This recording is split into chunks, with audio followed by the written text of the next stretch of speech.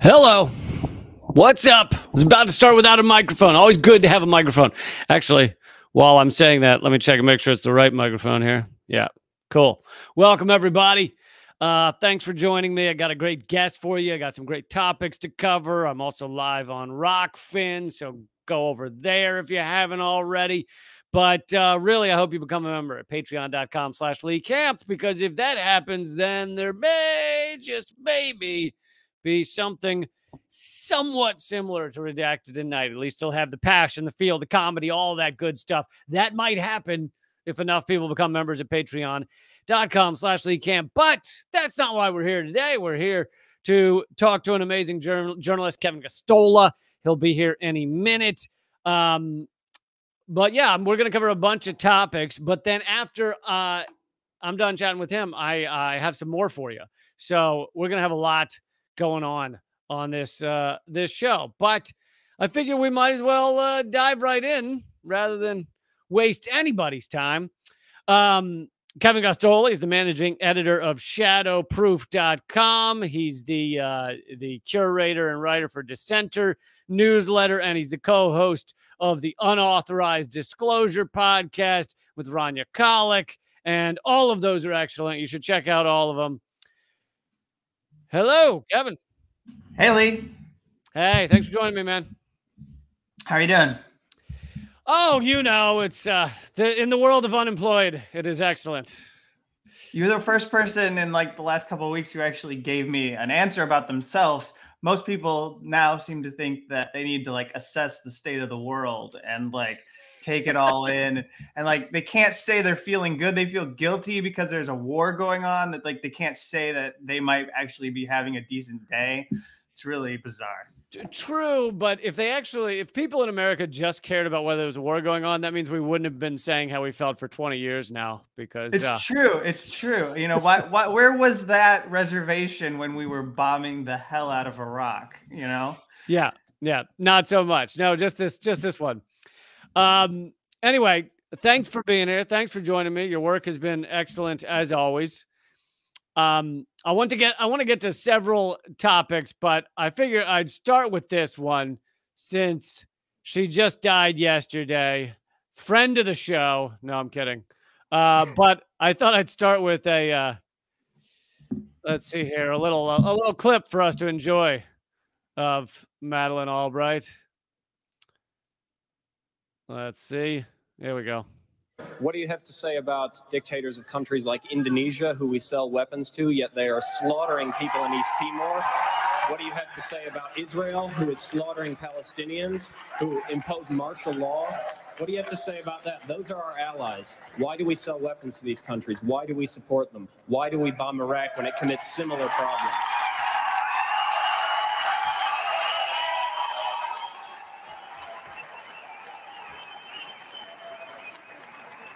the uh, there are various examples of things that are not right in this world, and the United States is trying. I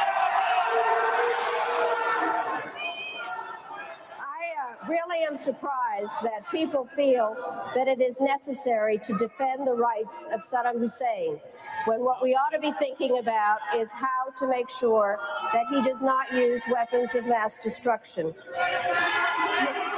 I'd like to. Who are I'd like to shouting, just a moment. I'm not defending them in the least. What I am Anyway, he goes on to uh he goes on to just repeat what he had said because he obviously did nothing to defend Saddam Hussein. But uh, yeah, just a nice pivot there. But I, I just thought I'd uh, I saw you were commenting on her her legacy, and I thought I'd get your thoughts. Well, it's become routine for me to offer what I think should be the appropriate eulogy for people who die. We've had Colin Powell, who died last year. I think Donald Rumsfeld actually went not long before Colin. Powell, and uh, and you know, it's important that we not let the New York Times be the only one that gets to write the obituary for the people who ran this country. Because if if we do, then um, at least for those kinds of people, uh, you're only going to read about the things that they did that were universally acclaimed that were and, and, sometimes they'll even put a spin on their warmongering that makes it seem like it was virtuous of them right or, so or, or, it was a str- like with Colin Powell it was a struggle you know he was a real he yeah. was a he was one of those struggling warriors trying to do his best well you know it was his cross to bear that he was made to lie us into a war in yeah. front of the UN almost like he didn't have a choice like he like he couldn't have resigned and said, "I'm not going to go do this," which anybody in his position would have been able to do. Even uh, though he got he got to that position by helping cover up the My Lai massacre in Vietnam, so yeah, was, he had proven so with, himself. So with Madeleine Albright, you know, we have a figure who I'll just work backwards. I mean, in if you're very young, I pointed out that most people probably have seen Madeleine Albright as this figure who was a kind of um, a hanger on when it came to Hillary Clinton's campaign. Just was always um, finding ways to get back into the media, did some campaign stops, and very infamously said to uh, a, a, rally uh, that if you were a young woman who was considering voting for Bernie Sanders, that there was a special place in hell for you if you went and voted and did not support Hillary Clinton. And I, I love the way that people who are boosters of Madeleine and also supporters of Clinton are spinning it right now. I had multiple people, I've seen multiple people saying, well, this is like a phrase that Madeleine Albright used to say all the time. She would say special place in hell. It's like, so does it make it any better though that she had this catchphrase that she would use whenever she was upset at somebody that she would say, you know, you deserve a special place in hell. I mean, I guess wait, so when she, when faced with the fact that there was a primary and Hillary Clinton had to actually beat somebody if she wanted to be a nominee, her reflex was to tell people that they needed to go to hell. Like that doesn't really yeah. sit well with me. I'm sorry. As a defense, it doesn't make it any better. But uh, then you add in her, you know, what she did as a professional, like why she is revered, and it's because of her work as a as a diplomat, or um, she was Secretary of State and uh, was uh, in the Clinton administration, and of course, you know, you played that clip. Another clip you could have played is the clip of her talking about how the price was worth it if over a half million uh, Iraqi children had died. Um, well, no, no, that, saying half million had died, and then asking her if it was worth it, and she said, "Yes, we believe it was worth it." Yeah. Yes. Yes. Yeah.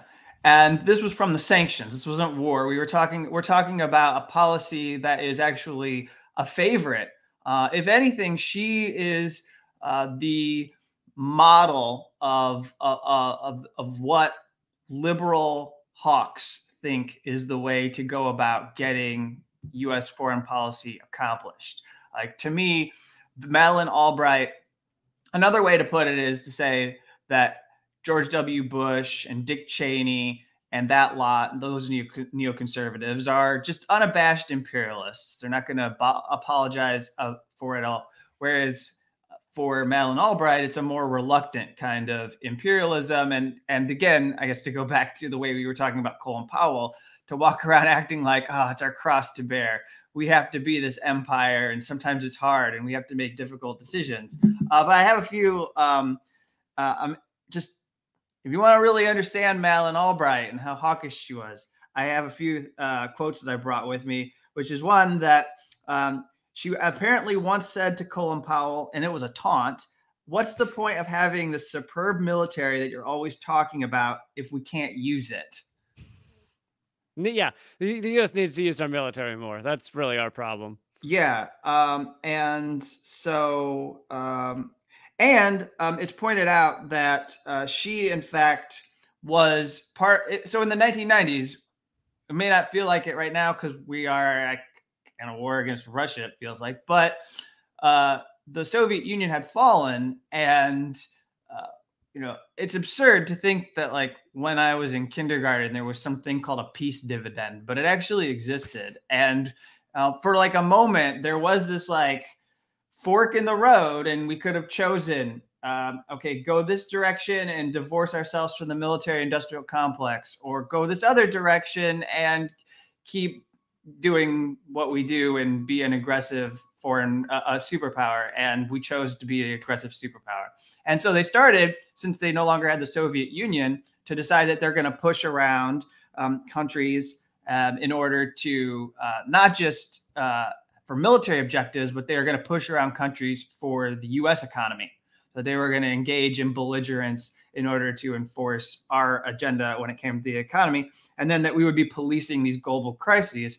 And so that's where you know, one of the things I pointed out was, um, in fact, this is not really my. I, I don't really know um, where I come down on the conflict, but it doesn't really matter.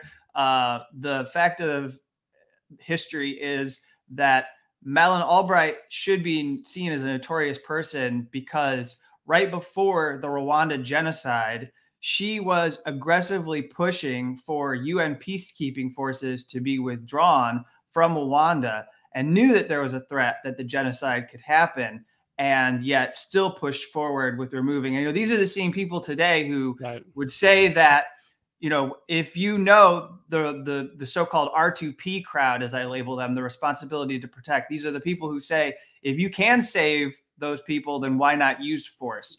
Well, even under her own metric, she didn't protect Rwandans. She found some cynical motivation for why those peacekeeping forces should not be in the country. Um, yeah, we did a uh, my podcast with uh, Graham Elwood, Government Secrets. We did an episode on how the Clinton administration, like you're saying, knew a genocide was could happen. Then they knew it was happening, and they basically just denied reality through all of it. So two more things, and then we can move from Madeleine. But she said, if you have to use force, if we have to use force, it's because we are America. We are the indispensable nation. We stand tall. We see further into the future, which is perhaps probably the like best pronouncement of her viewpoint. And then she said, um, "We will behave multilaterally when we can, and unilaterally when we must." Uh, so, just there's not really a whole lot of difference between her and Dick Cheney when you get right down to it. There just isn't. There's there's there's not a lot.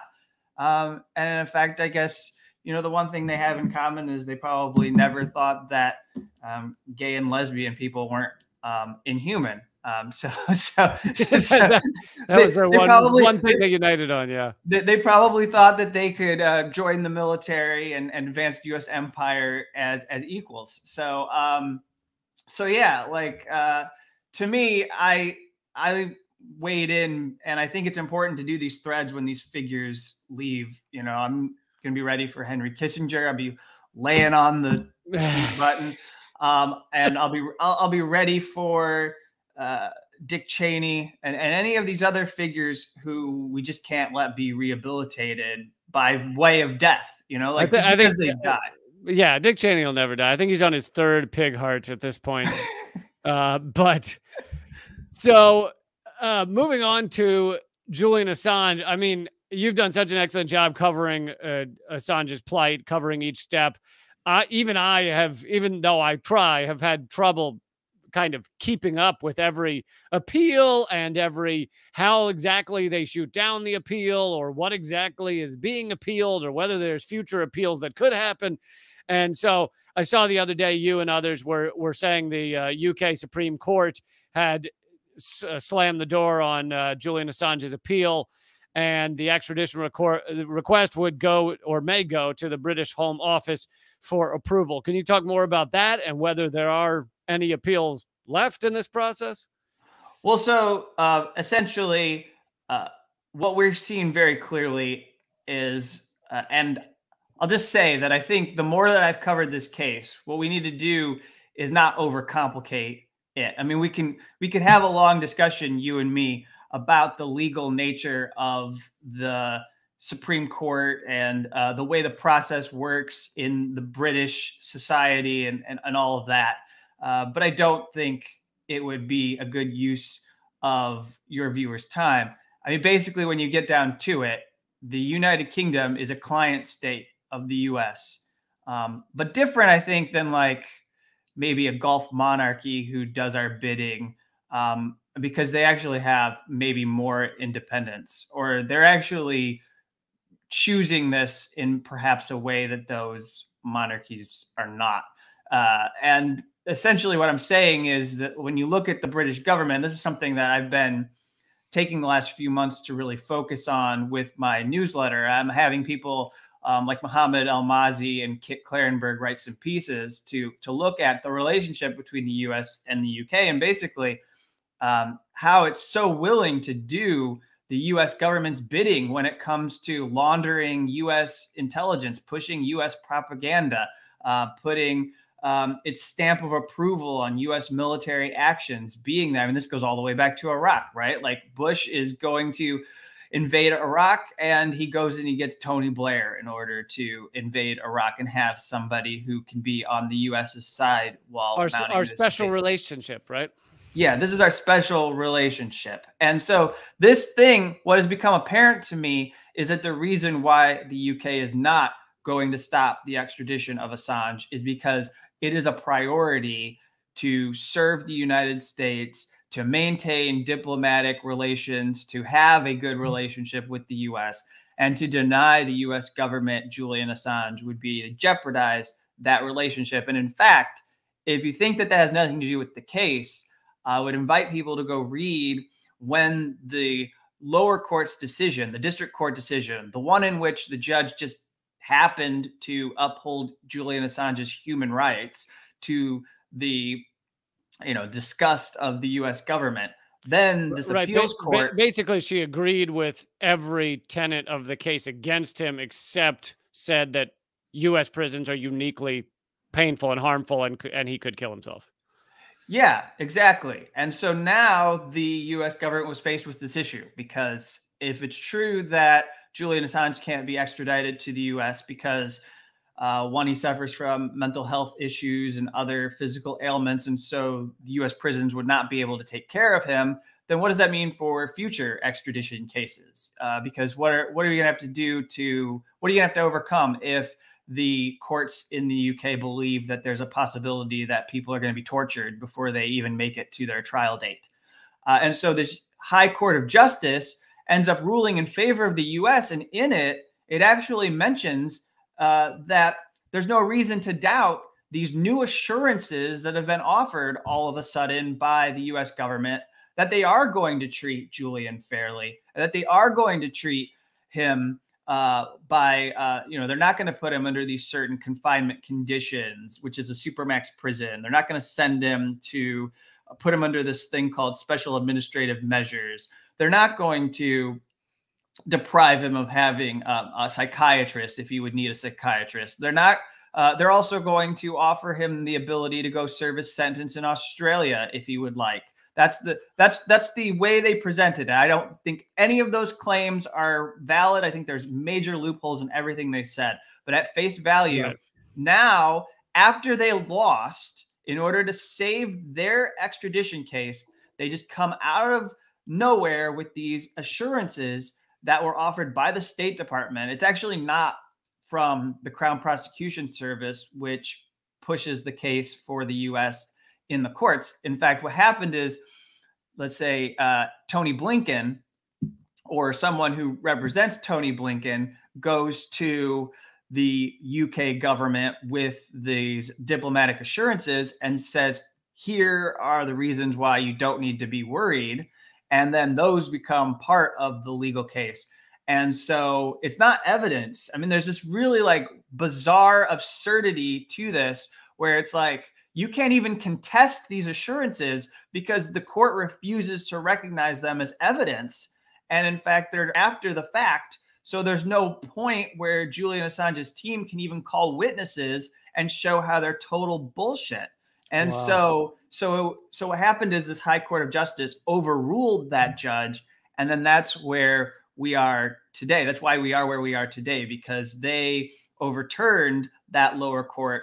We are here and faced with Assange now waiting to find out uh, what Priti Patel. Priti Patel is in the Home Office. She's you know part of the British cabinet, and they're the office that one uh, reviewed the request and then decided that it was legitimate to send it to the courts for review.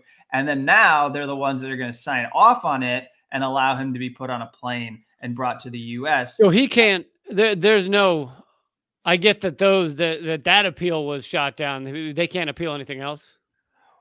No, they can. Um, I think uh, one reason why it's a little bit hard to follow right now for Assange supporters is I don't know if the Assange legal team has made up their mind on what to do next uh, because they are right now they have four weeks well so it's going to go to a court it's going to go to back to the lower court the, it's already at the lower court which is the westminster magistrate court this is where judge vanessa Baraitser ruled and then that court is going to send it to the home office once it's in the home office then there's four weeks in which assange's legal team can submit their own arguments for why that office should deny the request. And they can make a big political issue about it, and they probably will. And I'll write about it, and you'll talk about it, and we can all call attention to what's going on here. And then if she approves the request, it's highly likely that they'll try to pursue a appeal of the issues that have been entirely ignored up to this point, which is how Baraitser did not recognize that Julian was a journalist, did not recognize that uh, he had press freedom rights, did not recognize other things related to this case that are of huge significance. Um, kept especially him, kept him yeah. in a giant Tic Tac container through the whole trial. Uh, yeah, yeah. Uh, there was a box for for some of it um, that he was kept kept in this glass box. Uh, that that was that was new for me. I didn't I didn't know British Justice had that. Uh, it, oh, it was full on Silence of the Lambs. I mean, it was yeah, fucking crazy, and it made it look like he would if if they like didn't have the box around him, he'd just start uh, biting people's faces off. well, I I would tell people that here in the U.S. we don't even put people in a box. Uh, you just get shackled at your ankles. You come out in an orange jumpsuit. You uh, you you look like okay, you look really dangerous, but you've got shackles on your legs. You've got you might have to sit in your chair in cuffs who knows? But you get to sit with your lawyers. Right. You know, he had to make an uh, he had to ask the judge for permission if he could sit with his lawyers. He wanted to because he couldn't understand. See, one of the things that was I don't know if you remember this episode, but it's worth just reminding people very quickly that there was a point in these proceedings that took place in 2020 where he couldn't hear what was happening in court. And they gave him these goddamn stupid headphones that he'd sit back there and he put on his ears and he pretended like he could hear it, but he couldn't. So he just took it off and he put it on his chair next to him. And he sat there and he has no idea what is happening and he can't follow the proceedings. So he asked his legal team if uh, the U.S. and the, the judge would let him sit with his lawyers. And uh, the, the crown prosecutors say they don't object. Uh, the legal team, of course, makes their appeal to the judge. And the judge says just because she's on a power trip that no, Julian Assange isn't going to be allowed to sit with his attorneys and come out of the box so that he can follow and participate in this case. So, in a larger sense, so I guess I guess you're saying we don't we don't actually know if this is the final moments or not. It's not. It's not. Well, I, I can I can confidently say that it's not, but I don't know what is going to I don't know what order it's going to unfold. Uh, the legal team seems to be saying that they're going to because because they didn't come out immediately and say we're going to appeal. We're going to file this appeal with the high court, which is the appeal court, and we're going to say that um, we think Julian Assange is a journalist. We're going to challenge all these issues. Because they didn't do that immediately, it seems like they are going to they're going to see what Priti Patel and this home, British Home Office will do with the Assange extradition. And it seems like when they put their stamp of approval on it, then they might try to appeal. Um, or maybe, maybe they're waiting for something that I don't know about, which is like a formality to see that the Westminster court actually has it. All I can tell you is that um, what we know is there are a couple options that the legal team have, and it and neither of them are good. Um, yeah. And in fact, what we're seeing is the possibility that Julian Assange will be put on a plane before the end of the year because it's very likely that they'll be able to wind down this process um, before. Because the High Court can say, well, we don't want to hear your appeal.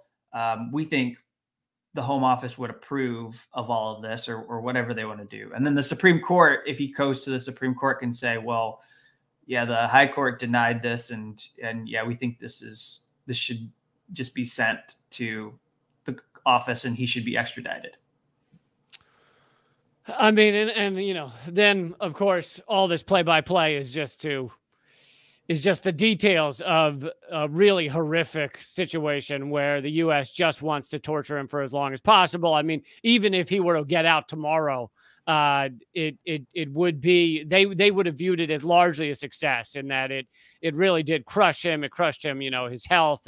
He's had a stroke. He's uh, in just had so much trouble, and that's a win for them. You know, they were able to do this to someone for revealing their secrets, for revealing their war crimes. Uh, so again, even if he got out tomorrow, that would be the that would be the situation.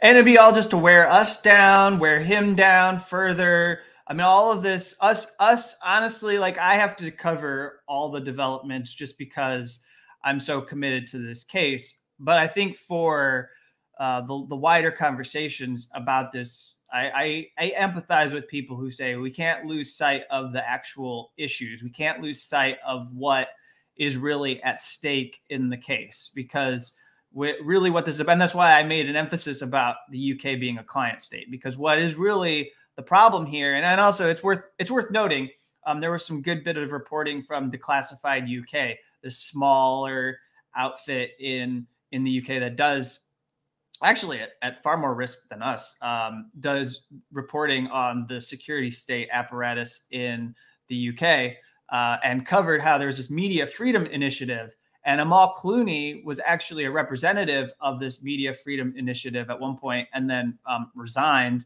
um, for, for reasons. I think that inc- included Assange, but also involved other things about how the UK was not upholding press freedom. So she didn't feel like she could be a representative of it.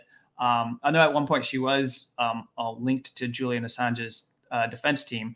Uh, but apparently, this media freedom initiative when when this all happened uh, everyone in the government were really like freaked out that uh, while they were trying to push this media freedom event uh, everyone on twitter and and and all throughout the world were just saying well this looks hip- hypocritical on the part of the uk you've got julian assange in jail and you're sitting here talking about media freedom.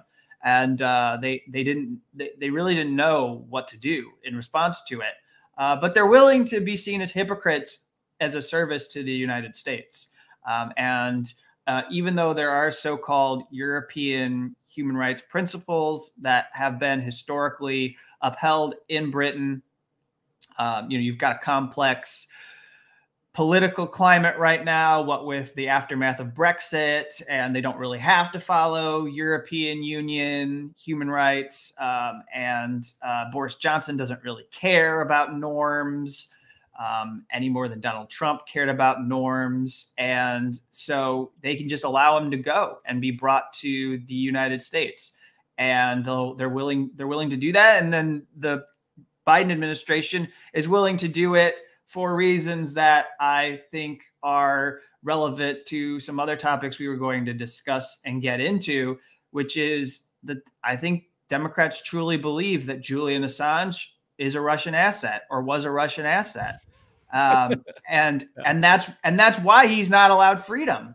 I mean, we don't really have to. Over- I don't. I don't know whether it would matter whether it was Russian or they accused him of connect, being connected to someone else. Uh, I, I think the fact that he revealed so many of their crimes is really that that's what did it. it. You know, yes, they've claimed, oh, it was to help Russia. Of course, it wasn't, but you know, they they could have pinned it on any country that they viewed as a enemy state. Just just to push back though, because yeah, okay, because I, I, I spent a lot of time on this, and one of the things I've wrestled with is how Biden's administration could continue if he was part of, you know, Biden was part of the Obama administration. And an important part of history is that the Justice Department had a shot at indicting Julian Assange back in 2012, 2013. And they were, you know, they were, they were putting together an aggressive grand jury investigation. Uh, at that time, Chelsea Manning was also going through her court martial. And they had they had Julian Assange uh, where they wanted him. Uh, I mean, he was in the Ecuador embassy, so it would have been a, a, barrier, I suppose, to an indictment, or they might have claimed it was a barrier. But uh, they were looking at this seriously, and Matthew Miller, who comes out of the Justice Department, he was a spokesperson, has conceded and, and shared that they had recognized this New York Times problem, which I know you're aware of.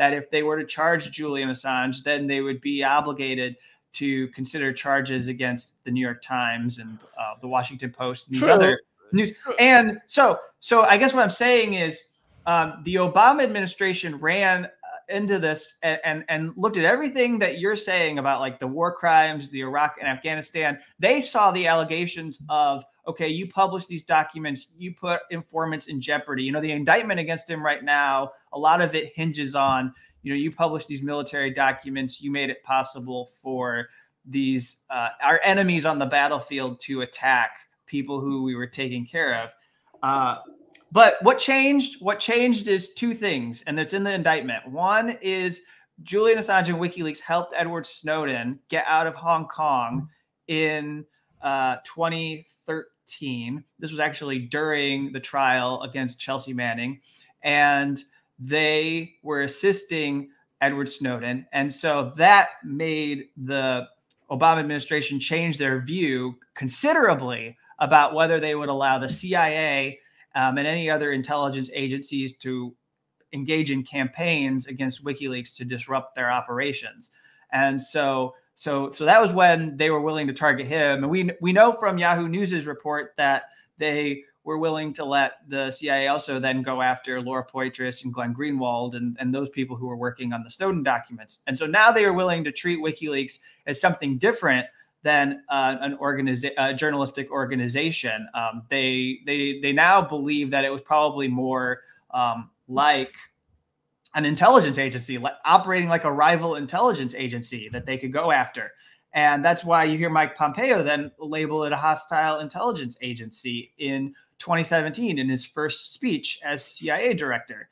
Uh, there's the Vault 7 materials when they publish the, right. the, the, cyber warfare documents um, that show the different ways that, oh, well, one of them that's really relevant is that apparently uh, the CIA has the capabilities to mask their fingerprints and make it look like they're engaging in hacks from Russia or engaging in hacks from China. But at the same time, it wasn't like Yes, the Obama administration made that choice to not indict. Uh, obviously, that was a good choice for the moment. Uh, but it wasn't like they went easy on Assange. I mean, they had essentially got him trapped in the Ecuadorian embassy. True. Uh, so, it you know, and and Biden might not have agreed with the decision to not indict, even though he was in the administration. It's not like they really consulted uh, crazy Uncle Joe for for all this stuff. So true. But anyway, uh, it, you but know, my but my point is, it's, my, my, uh, to me, in my opinion, it's kind of a small point. I mean, the, the, they they wanted to get him for what he revealed, but yeah, yeah. But my point is, uh, I think for us, if we're trying to fight the battle of getting the charges dropped, why can't we get the charges dropped against Julian Assange? And I think to me that the issue of of why. Uh, no matter the fact that civil liberties organizations and human rights organizations have come to his defense, uh, regardless of the fact that uh, there are actually editors of these newspapers who put out statements. I mean, they I, look. I'll I'll concede that they haven't really done enough to follow this case, and they've barely showed any interest in the role of the CIA in trying to target Julian Assange and WikiLeaks. Uh, they don't really even care that there was a Spanish private, uh, a Spanish security company that yep. engaged in an operation that targeted journalists, even targeted their own journalists, like the Washington Post. Ellen Nakashima had her own cell phone battery almost stolen by someone operating the security checkpoint at the Ecuador embassy. Um, they don't care about that. But despite all of this, I hesitate to use the word solidarity, but it's the simplest way to put it. Despite the fact that they're saying they oppose this prosecution, you're still not seeing any movement politically, and nobody within the Biden administration feels moved to change the way that they are approaching right. this case. And you don't see support in Congress, even though we're talking about press freedom issues that at least progressives should be able to support. So the reason why I don't think they would is because of that thing called Russiagate that we lived through for three or four years that um, has now developed into a, like a completely entrenched political dynamic that is calcified right now with the war in Ukraine. Well, may, maybe I'm a little more uh, a little more cynical or a little slightly more uh, conspirac- conspiratorial minded. Maybe uh, I think they they came up with the idea of Russia Gate in order to pin Hillary's loss on Russia rather than the FBI. Because for like five days they said it was James Comey's fault after the election, and then they go, "Oh, maybe going after the FBI is not the best plan for the Democratic Party." So they switched it from James Comey, who became a national hero, to Russia did it, um, and it served two purposes. It was Russia did it via WikiLeaks. Well, now we can go after Russia and Julian Assange and Trump all as one big package deal of, oh my God, it was the Russians. And so to me, it serves a lot of purposes, you know? Yeah. Yeah. Well, regardless of how we got here, you do agree that we have a fundamental problem in convincing people that Julian Assange uh, should be freed because there are so many people you thought were on our side who say, well, uh, he supported Donald Trump in the election. I don't know if we can get behind him, or or oh, uh, uh, we believe that he helped uh, Hillary Clinton get elected, and so that's that's a problem. And I I, I just I'm sorry to to push this so hard, but when the my my own view is that when or, or to share a, a, an emotion that I felt like I don't usually get emotional when we have these decisions from these courts in in Britain, but uh, because of what is happening in Ukraine, when the high sorry when the Supreme Court ruled, and it was just a one line ruling, but when they denied him his day in court to bring an appeal, I just felt this pit like yeah. right inside me, and I went, "Ah." Now's the moment when we need to convince our politicians not to let this go forward. And I can't think of a worse time to try and convince them. Because because I had always I had always imagined that when it finally came to the day that Julian Assange was being put on a plane, we might be able to get the Biden administration to back down because one one thing I had said before, and the reason why I I I, I guess I'm holding myself accountable here because I don't know if it's going to end up being true. I had suggested that they were basically just punishing Julian Assange by process and that they didn't really want to put Julian Assange on trial because there is an image that the US empire has to uphold. And you could play on your show today if you had them handy. Uh, it would be a good idea for a show later if you haven't done this already. Is a collection of the authoritarian leaders who have invoked the jailing of Julian Assange in order to make the US look bad and to also mm. say we don't have to listen to you as you're lecturing to us about uh, humanitarian rights. Um, there's the Azerbaijan leader who who, who did this. Um, China's foreign minister has been doing this repeatedly, um, and uh, so, so so now when we have to create an issue and convince our politicians not to let this go forward we're in a worse spot because of the war in Ukraine than we were uh, before. Um, or we're in a worse spot than I imagined we would be when this finally got to a place where he would be put on a plane. Because I thought it actually might be longer. I thought that when he was going to be put on a plane, it could be like 2023 end of the year or 2024. Joe Biden and the White House would be facing a reelection. And I don't know if maybe they wanted to like deal with this issue or I, again, I'm I'm not really I, a politician, so I don't know how strategy goes. But I I kind of I kind of agreed with you that they just wanted to you know basically torture him through process, but I kind of thought it would be Britain that would back down, that kind of wanted an out eventually. Obviously, Britain's going to do most of what America wants. Uh, so it wasn't like I thought they were going to come running to his aid and go, no, we would never jail a journalist. But I thought they kind of wanted an out to not be seen extraditing a journalist, a publisher, the, the most accurate publisher who's ever lived, considering nothing has ever been false.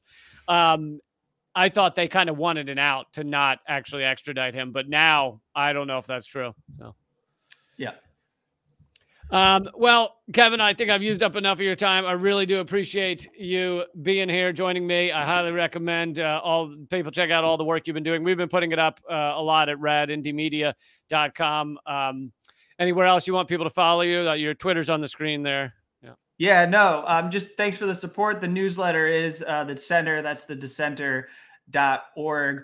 Although there's not a lot right now. I'm actually working on a book, so I'll just I'll plug that. Um, I'm doing an Assange book that should be out in early 2023. Uh, so there's not a lot of output right M- now. Make sure you have it end with him being freed. Yes, yes. Please, um, it's please a, do it's, it's uh, let me specify. Sorry, it's a fiction book. I'm doing a fiction book on Julian Assange, and at the end, uh, right. not only do, do they get to have the wedding day they should have had, uh, which we actually didn't. I, we neglected to mention, but I just want to say very quickly. Yeah, go ahead. Um, if you don't mind, I'm just going to take a minute to, to to squeeze this in. Yep. Uh, people might have seen the beautiful and wonderful images of Stella Moris in her wedding dress um, and Julian Assange's children in kilts. Uh, they looked excellent. Uh, the wedding party looked um, as good as any wedding party. And uh, they had the wedding in Belmarsh prison. And the thing that people who watch your show need to know, Lee, is that uh, Craig Murray was supposed to be a witness for uh, this uh, wedding, supposed to be able to attend and be part of the wedding party. And, and Craig Murray is a former uh, British politician. Yeah. Uh, and also went through his own legal case. He was jailed uh, because he covered the trial of, uh, of a Scottish minister. Um, and they were it was a, involved sexual allegations, and he was accused of jigsaw identification um, and basically treated as a second class citizen because he was a blogger and not someone from the BBC.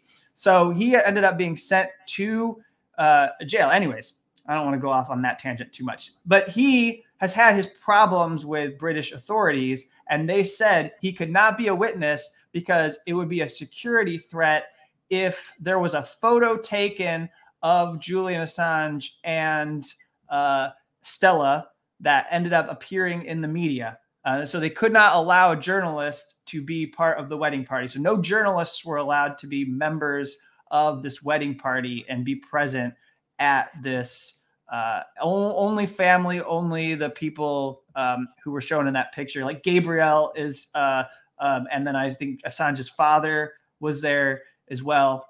Yep. Only these people would be allowed in, and I think this is a good point to end on. Is that um, I'll, I'll leave you with this thought: is that this shows you the fragility of what they're doing to Julian Assange. I mean, we can be cynical, we can believe that there isn't any hope for Julian Assange. But with this wedding, we saw that there is actually a way that we can reach and, and get to them and force them to back down because they were afraid that if people saw an image of Julian Assange marrying Stella Moris in prison, that it would be so outrageous and say so much about how inhumane and cruel they have been to Julian that they made certain that nobody snapped a photo. But we all we all have our imaginations, right? We all know what it's like when people get married. We've all seen weddings. We've watched plenty of romantic comedies where people get married. We don't need a fucking photo to know how beautiful it was when they got together and kissed Although I love hilariously that Stella says a guard told her that there would be no open mouth kissing allowed, like they were fucking teenagers. Like, like, no, like like she was gonna give him a razor blade through her mouth from one mouth to another. Yeah. Well, yeah, that. But I also just imagine them being prudes and not wanting like some really like full on involved kiss that they would have to watch while they were waiting for this wedding to conclude. Um, in any case, it was beautiful. It was defiant. And the fact that they were afraid of a photo just shows that there are still ways that we can win and free Julian Assange. And I think that's a good point to leave you. Thank you. I hope so. I hope you're right. And uh, thank you so much, Kevin. Keep doing great stuff and uh, keep fighting. All right. Later. Later. All right, that was Kevin Gosztola. I have a lot more for you though before we wrap up here.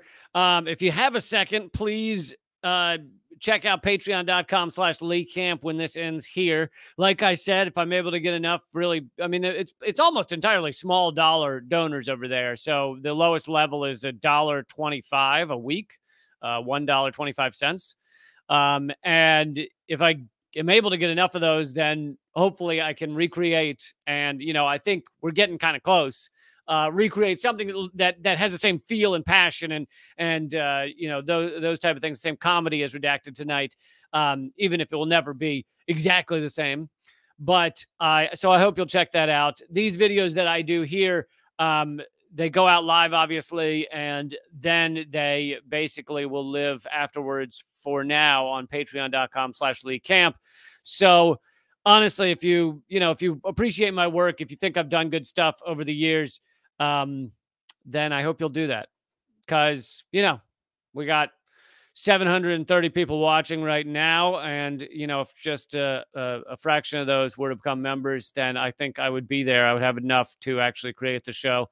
But anyway, let's uh, move on. I have some information on Ukraine that I think is not what you're hearing right now from your uh, your average, uh, you know, definitely not your average mainstream media. Um, let's see which one I want to uh, show you first. But so there was a mainstream media article, which is pretty mind blowing that it's somewhat mainstream media because this is the only one I've seen like this that they had the balls to do this. Uh, to be, oh, Dave said something about buying uh, uh, oh, my new book. Well, my new book won't be out for a bit, but if you mean the bullet points and punchlines, actually, if you sign up at patreon.com slash Lee Camp, uh, you get a free PDF of my book but I suppose I can't sign a PDF. Um, I mean, I could sign my screen. I don't know that that's going to help you much. But anyway, as mainstream media article, I'll uh, I'll pull it up here in a second, and it's from Newsweek, which I guess is owned by MSN, uh, which uh, because it's this seems to be Newsweek on MSN.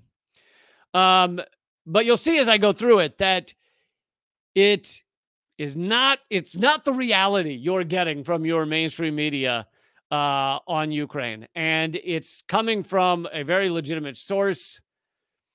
So let's go through some of this, and then I have another kind of mind blowing video after this that I'll show you that also has to do with Ukraine. So right now, and keep in mind, folks, in case you need to be reminded, or in case you've never heard of anything I've ever done, uh, I have no dog in this race other than for the truth. I no longer work at RT America. I am the only money that I have coming in right now is from Patreon, from you guys.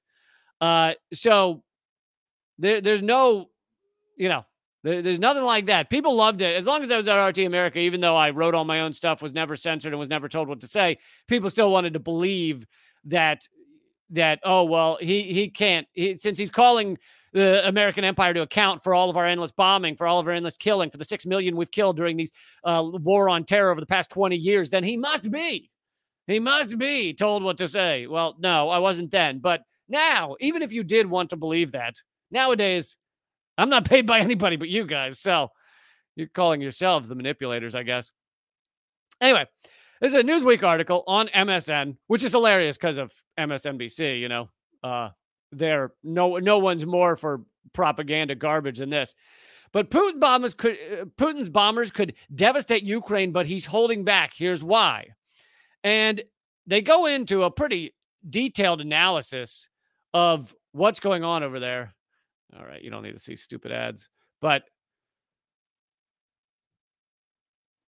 uh and they're quoting from well, I'll get to that in a second. So the article says, as destructive as the Ukraine war is, Russia is causing less damage and killing fewer civilians than it could, U.S. intelligence experts say. This is coming from fucking U- U.S. intelligence experts. Meanwhile, our mainstream media is telling you the opposite, okay? And our and our government heads, Jen Psaki and B- Biden and all those, they're telling you exactly the opposite. Meanwhile, this analysis is coming from U.S. intelligence analysts. For fuck's sake. So let me keep going through this. Russia's conduct in the brutal war tell, tells a, of course, and there's there's still some manipulation here. I mean, yes, it's a brutal war, but all wars are brutal. There's there's never been an unbrutal war. war. Uh, there's never been a nice, polite war. Uh, and by the way, I've said many times, and I will continue to say that I am opposed to Russia's invasion. I'm opposed to endless bombing. I'm opposed to to to, to killing of civilians, uh, whether intentional or unintentional. But as you'll see in this article, it does not seem like your mainstream media keeps trying to tell you that Russia is targeting civilians. But let's keep going through the article. Russia's conduct in this brutal war tells a different story than the widely accepted view that Vladimir Putin is intent on demolishing Ukraine and inflicting maximum civilian damage. And it reveals the Russian leader's strategic balancing act. If Russia were more intentionally destructive, the clamoring for US and NATO intervention would be louder. And if Russia were all in, Putin might find himself with no way out. Instead, his goal is to take enough territory on the ground to have something to negotiate with while putting the government of Ukraine in a position where they have to negotiate. Now, again, none of this means I endorse fucking war, but don't you want to know the goddamn truth? I mean, even if you're if, even if you're fucking just like, oh, it's all Russia's fault. I don't care if NATO expanded. I don't care if there's if, if we've been funding an army's Nazi, Nazis in the border regions. I don't care about any of that. I, it's all Russia's fault. Even if you believed all of that, wouldn't you want to know the truth? Wouldn't you want the fucking truth as to what's happening? Because if your answer is no, then that says a lot about you and it says a lot about what you're trying to say. It says a lot about your beliefs. If you really don't want the truth. Moving on. Understanding the thinking behind Russia's limited attacks could help map a path toward peace. What? Knowing the truth could help us solve the problem? No way. In nearly a month since Russia invaded, dozens of Ukrainian cities and towns have fallen, and the fight over the country's largest cities continues. United Nations human rights specialists say that some 900 civilians have died. 900. Now, that number is far lower than what you're hearing on your mainstream media. That doesn't make it okay. Okay. But I want the fucking truth. My allegiance is to the truth.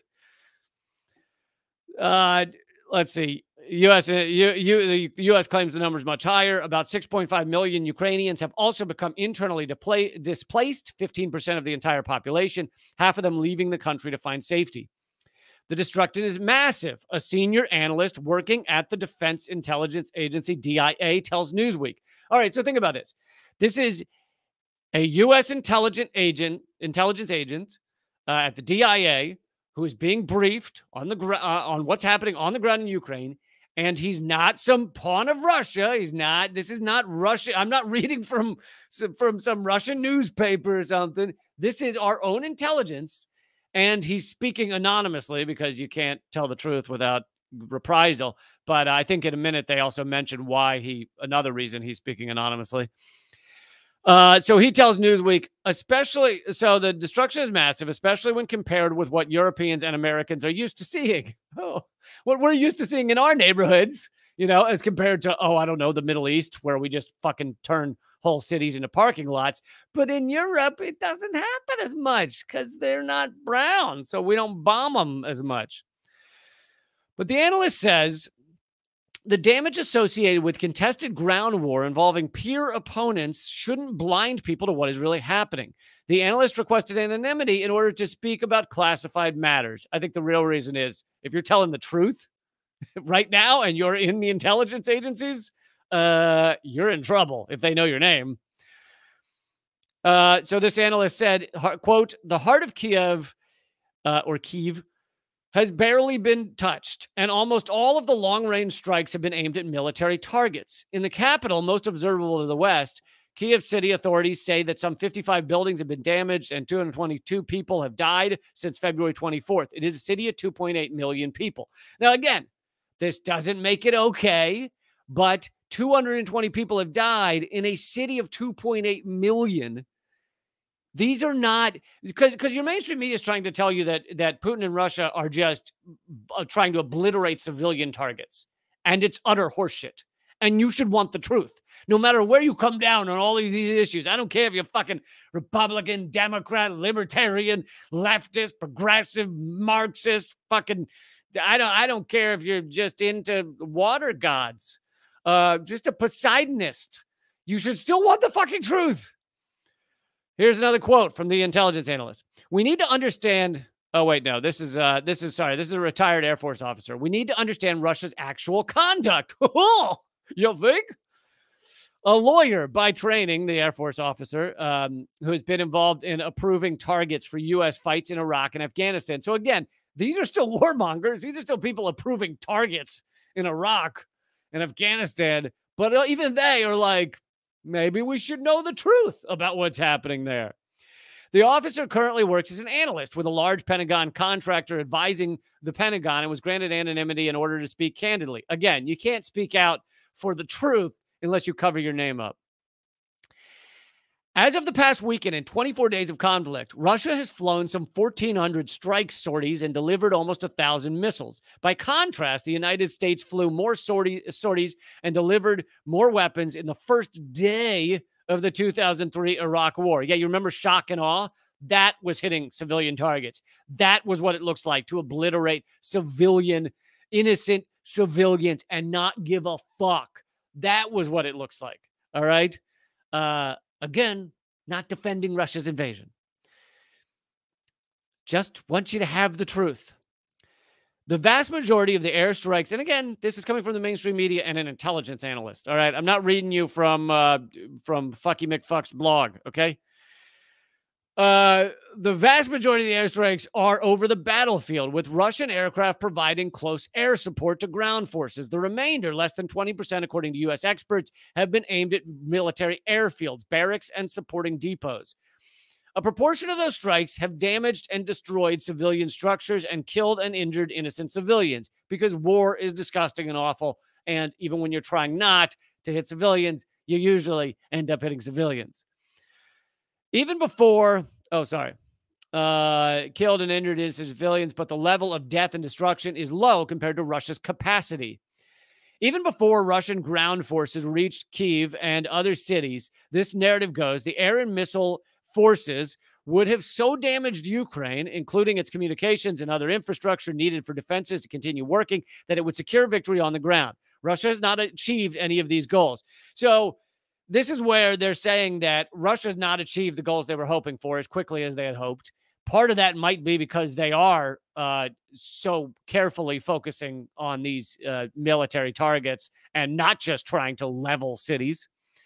There has been no methodical Russian attack on transportation routes or bridges to impede Ukrainian ground forces or supplies.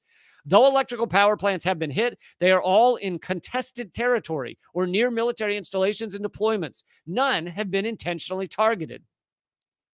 In fact, there has been no methodical bombing campaign to achieve any systemic outcome of a strategic nature. Air and missile strikes, which initially seemed to tell one story, have almost exclusively been in direct support of ground forces. Russia did not bomb stationary air defense uh, emplacements protecting cities. U.S. analysts say Putin's generals were particularly reluctant to attack urban targets in Kiev.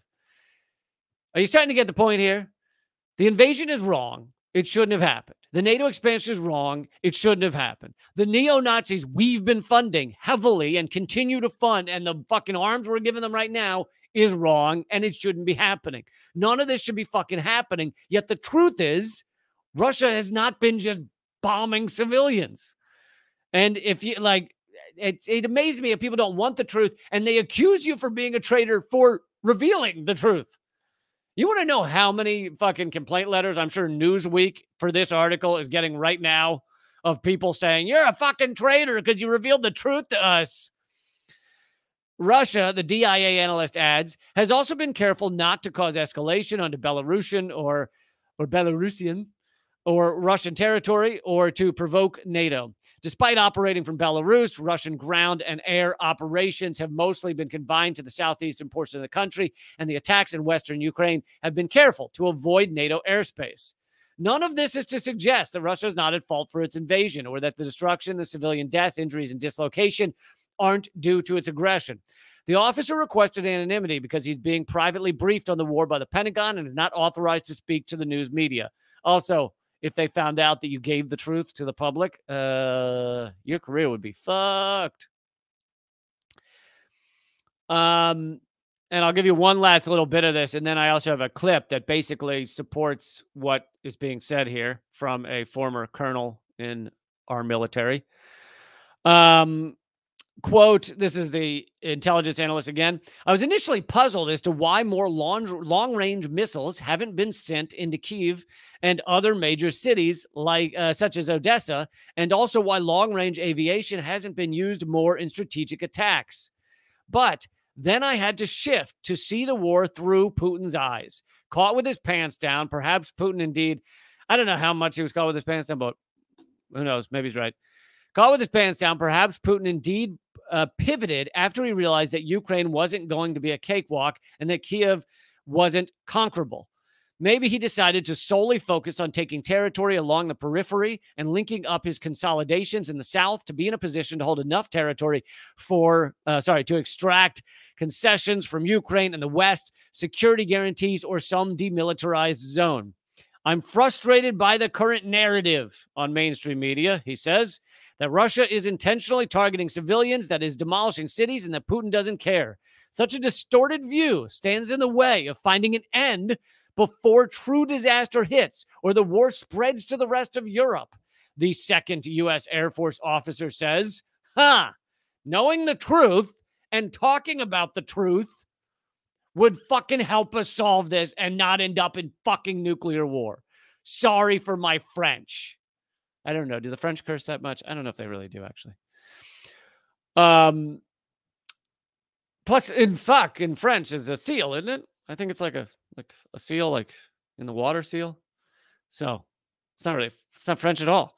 Anyway, uh, so that's a mainstream media article. You can look it up. Newsweek. Um, it's easy to find.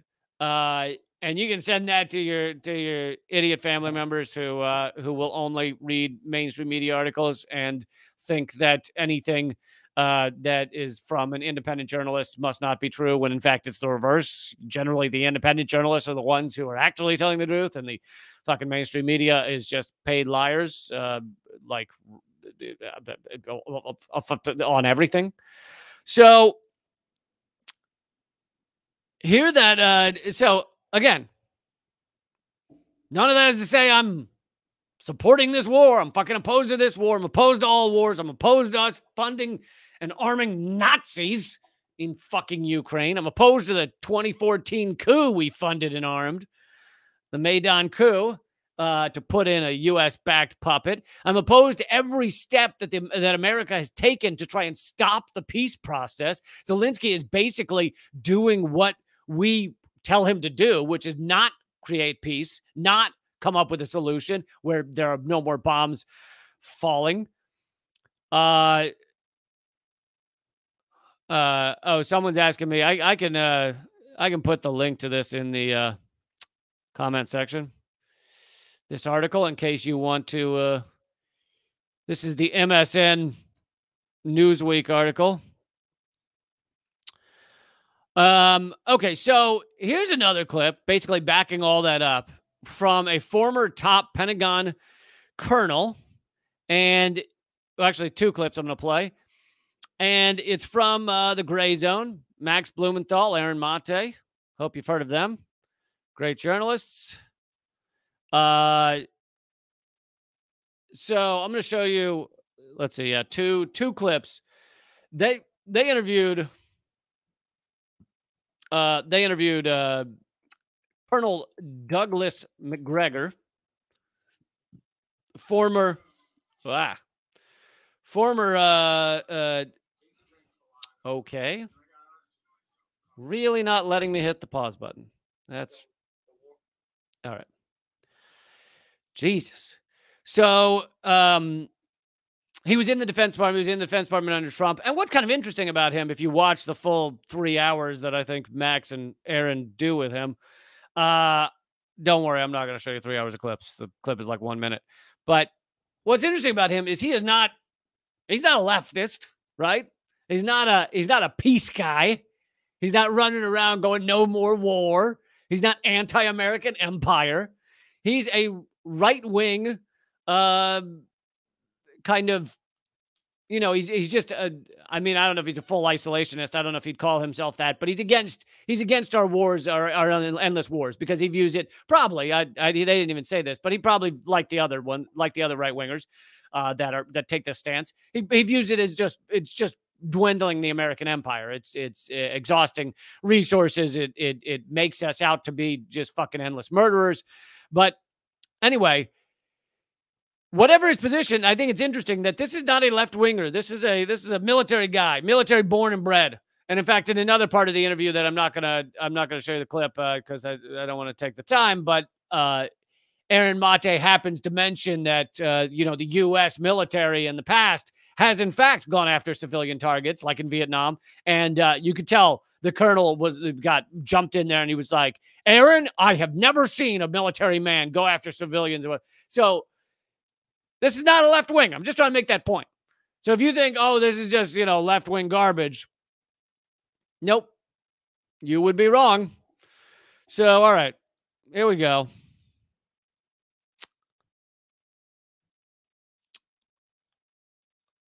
This is the uh, first clip. War continues. Is peace possible, and why is Biden seemingly so hostile to negotiating and de escalating? well, at this point, I think we have to conclude that there is a universal opposition to any peace uh, arrangement that involves uh, a recognition of any Russian success. Uh, in fact, if anything, it looks more and more as though Ukrainians are almost incidental to the operation in the sense that they are there to impale themselves on the Russian army. I'm gonna I'm gonna keep playing it, but uh, I just want you to remember that sentence. The Ukrainians are there to impale themselves on the Russian army. They're incidental. That's what our that's what our deep state is doing. That's what our military industrial complex is doing. That's their view. And I, this is exactly what I fucking said, except I didn't have a general saying it too, or whatever, a colonel. Uh, this is what I, I believed and I said on previous videos that the U.S. is using Ukraine as cannon fodder. This is a proxy war between America and Russia. And we don't give a shit about innocent civilians. In fact, we'd like for Russia to kill more innocent civilians because then we get to point to that and go, oh my God, look at that. All right, let's continue. And uh, die in great numbers because the real uh, goal of this entire thing is the destruction of the Russian state and Vladimir Putin. And no one is prepared to stop anything as long as there is the slightest hope that something terrible will happen to Russia and to Putin Of course, I don't see much evidence that that's going to be the case, but it doesn't really matter here. Uh, everyone has universally signed on for the Russian hate campaign or hatred for Russia campaign.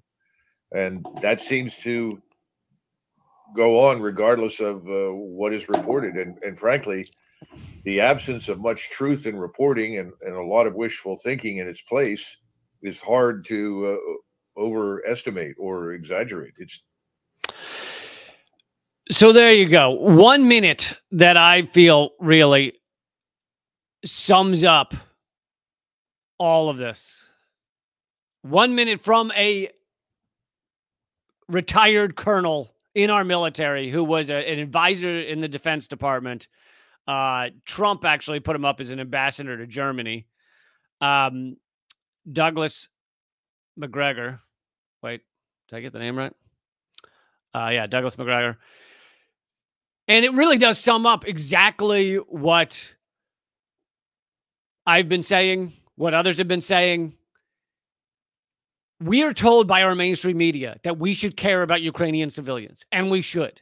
And yet, all of that, the endless 24 7 love to Ukraine, people doing little hearts painted yellow and blue, all of that is actually to keep this going. It's a propaganda campaign, and they are not actually trying to end this war, to end this invasion by Russia. And like that colonel just said, the Ukrainian people are basically incidental in this equation. Their job as our military industrial complex, our deep state, Joe Biden, his administration, etc., and of course the Republicans, the neocons love it too. So because we have one political party, right? We don't it's not Democrats and Republicans. It's all one big pile of shit. They're all loving this. This allows them to basically try to evict Russia from the economic system, uh, which I'm going to talk more about on my uh, my next video next week, uh, on another video next week.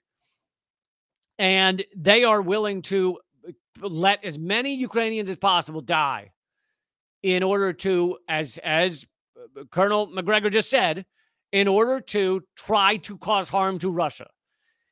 Uh, they're hoping something bad could happen to Putin. They're hoping that the Russian people could turn against Putin. They're hoping that uh, that the, the, the economics will work out. That as they try and crush Russia with sanctions, it'll succeed and it'll cause their society to maybe collapse economically. They're hoping for all that.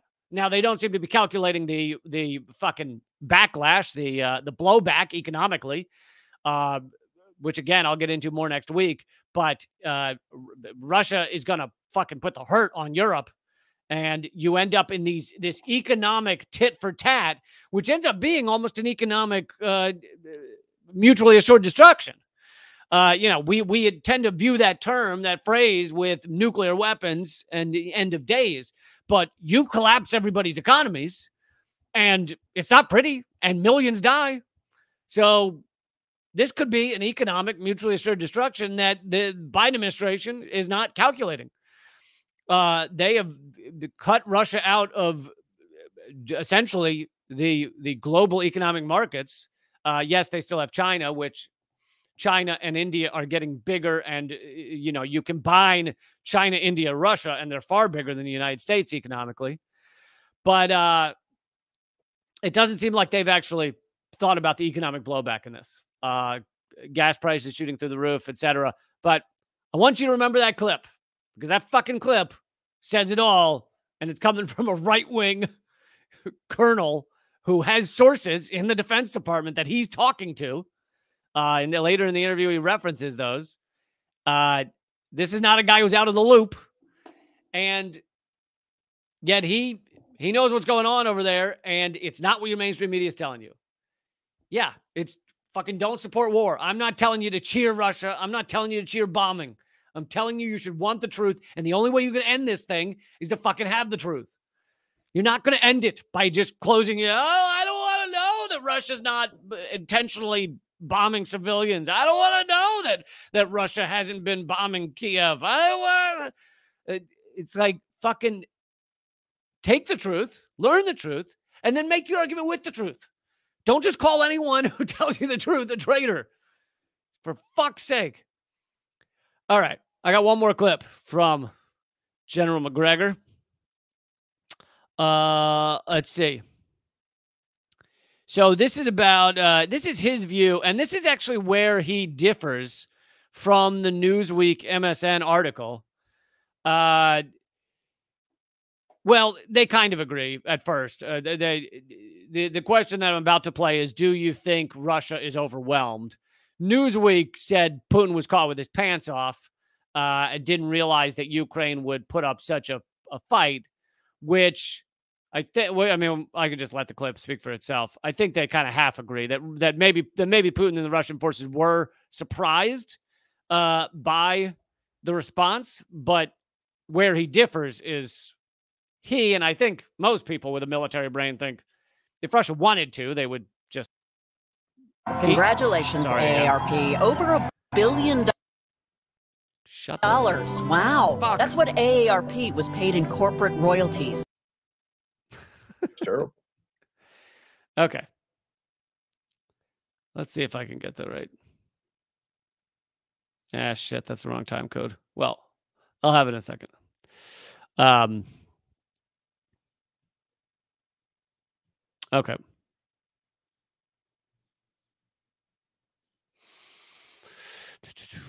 One more second.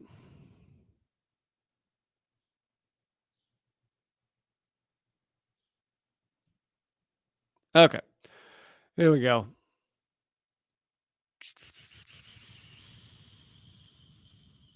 Or estimate or exaggerate. It's terrible. What do you make so far of the dominant narrative we're getting here in the U.S. that militarily that this has been a disaster for Russia, that Ukraine is putting up fierce resistance that Putin mm-hmm. did not expect, and has inflicted serious military defeat on the Russian invaders? Well, as to the last point, it's very obvious that what Ukrainian forces are still active are entirely surrounded, cut off, and isolated in various towns and cities. Uh, the Ukrainian forces are incapable of anything but an occasional pinprick attack on on something that doesn't appear to be very robust or dangerous. So the war, for all intents and purposes, has been decided. Did you catch that? I'm just I just want to pause here for a second. Did you did you catch that sentence? The war for all intensive purposes, intents and purposes, has been decided. Now, is that what you're getting from your mainstream media? Is that what they're telling you? No, because their goal is to make Ukrainians and Americans and the West and so many others think that this is an ongoing, really long war and they, they don't want you to think it's over. They don't want you to know that it's militarily over. Uh, and it's really disgusting. And they because they want more people to die. They want this to go on and on. They want Russia caught up in this fucking garbage for a long time, and they want to see a lot of people die because that allows them to put more sanctions on Russia. It allows them to do more of their anti-Russia propaganda. Again, a lot of it, a lot of the anti-Russia stuff can be true. This is an invading force, but I'm saying they're heaping extra propaganda on top of that. Uh, all right, let's continue. The the issue for the Russians from the very beginning has been how do we proceed without killing large numbers of civilians and inflicting a lot of property damage? And Putin gave very strict orders from the outset that they were to avoid these things.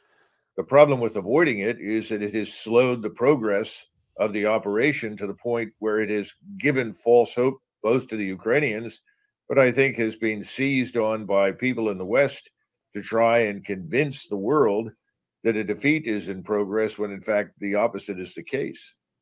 So the, the war itself at this stage of the game could be decided very, very rapidly, uh, permanently, if Putin were to give the order and allow the forces to disregard the concern for civilians and property damage. But he hasn't done that. He has continued to negotiate, even though he recognizes that the people sitting across from him really are not in a position to deliver very much they're being told what to do. And it's very obvious that Washington wants this to continue as long as possible in the hopes that uh, Russia will be desperately harmed. Uh, I just don't see that happening. The- there you have it. That kind of sums up everything that's going on here. And it, you're getting none of it from your mainstream media. Your corporate media is trying to turn Ukraine into Syria. It wants the same shit. Uh, obviously, the United States, if you look at Syria, obviously the United States wanted Syria to fall, wanted Assad to fall, but they didn't achieve that. However, in place of being able to achieving that, uh, uh, and being able to achieve that, they destroyed all of Syrian society. And now they have sanctions that continue to economically destroy Syria. So to them, that's still a win. Yeah, Assad is still in power, but we have fucking wrecked that society. Uh, we have made it so that they cannot have a strong and sustaining uh, country there. And the U.S. views that as a win because it allows us to continue our global hegemony. Um, so they they want something similar in Ukraine for slightly different purposes, but uh, they they're, they're trying to make Ukraine a new Syria. They want this to go on for years. They want fucking door to door guerrilla war combat going on. And they want to then be able to say, oh, uh, Russia's committed all these war crimes. Um, they, oh, yeah, they used, uh, Russia used uh, chemical weapons, right? And that's what they may be prepping for is something like that, where they say, oh, Russia used chemical weapons, so we are going to do A, B, and C. It's a red line for us. They did this in Syria, right? Now, think about it. Why the fuck would Russia use chemical weapons? It'd be insane, right? Because Russia has overwhelming military force, well stronger than anything Ukraine has. So if Russia wanted to dominate Ukraine, as this colonel just said, they would do it. But they don't want to kill that many civilians, so they're not doing it. Uh, again, not supporting the invasion. Okay. Just keep reminding yourself of that. Um,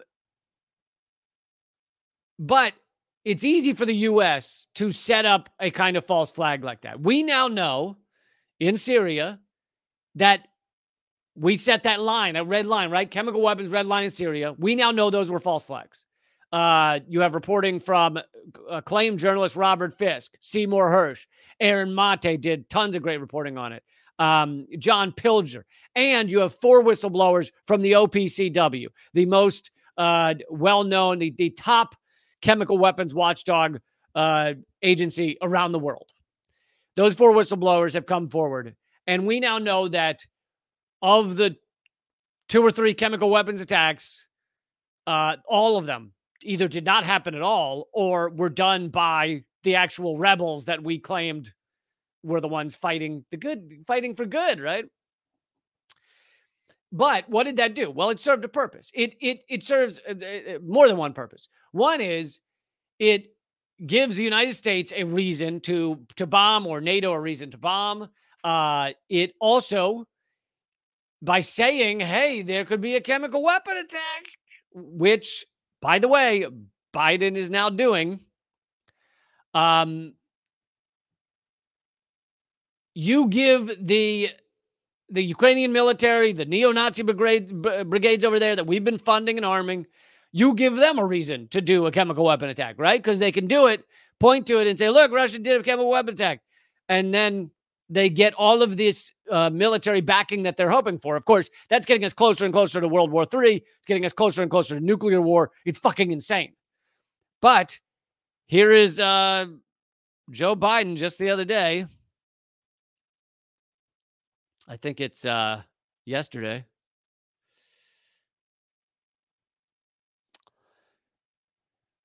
Joe Biden says NATO will respond if Russia uses chemical weapons. Well, boy, you're kind of setting the stage there, aren't you? You're kind of setting the stage for this to fucking happen.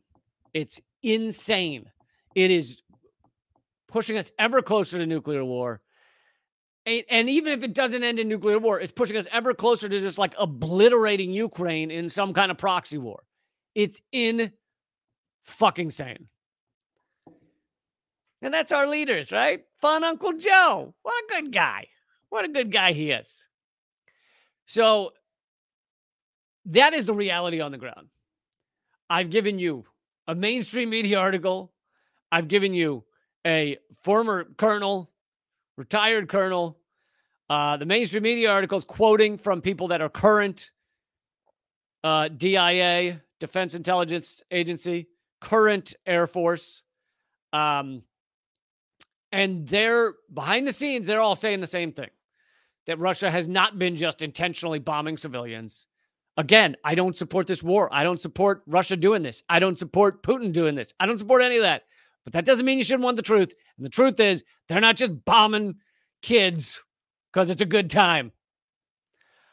Uh, I mean, it, it amazes me that people really don't want the truth. They're really like, you know, you know the number of people that probably will turn off this video just because uh, I start to read that article from Newsweek. Just hearing that, oh no, God, I oh, the truth hit me in the face. Ah, I can't get it off. I can't get it off. That's uh, honestly, that's the fucking response. It's amazing. So yeah, let me see. I think that's all I have. But I hope you feel like you got something out of this.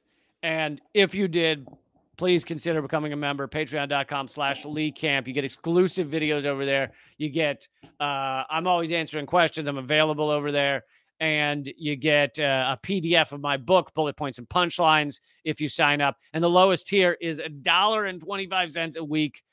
Um, basically, I'm, I'm, I'm trying to go this route of of independent uh, funding. No longer, no longer on some big bad TV station because obviously, as as most of you know, the station was shut down from U.S. sanctions. My show canceled. Uh, all of the previous eight years of YouTube videos now banned globally, banned around the world. Uh, and my podcast deleted from Spotify. My podcast, Moment of Clarity. You can listen to that sometime when you get when you get a chance. Uh, I mean, it's mostly videos like this. It's the audio of these. Um, but I have two other podcasts, Common Censored and Government Secrets, both of which I think you'd like. But all that is to say, patreon.com slash Lee Camp. Get exclusive content. and uh, I couldn't do it without you guys. So keep fighting.